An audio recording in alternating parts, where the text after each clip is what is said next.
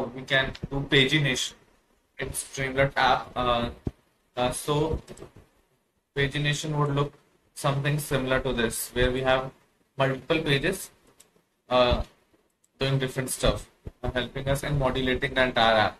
So how this can be done is as easy as a Hello World program in Streamlit.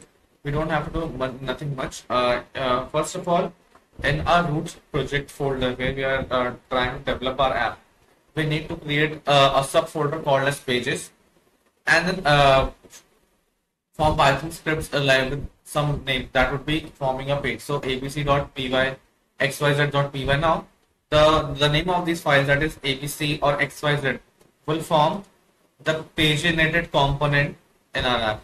So there's nothing that we need to do. We just need to create these pages and one page outside or within inside in the pages folder as well, no issue. That will be called.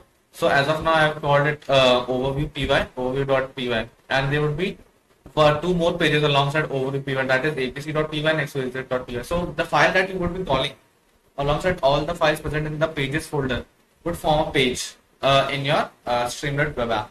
So let's see uh, how it uh, how it runs. So what I'm doing is that I'm running the command py minus streamlit run overview.py. So it's a command that we need to run to uh, any streamlit app where I'm trying to call the overview.py.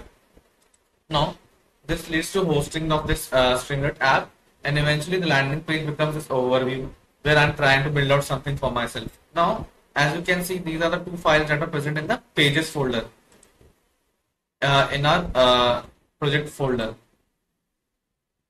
Uh, so eventually, or any file that is present in the pages folder will form uh, our page in the Streamlit tab.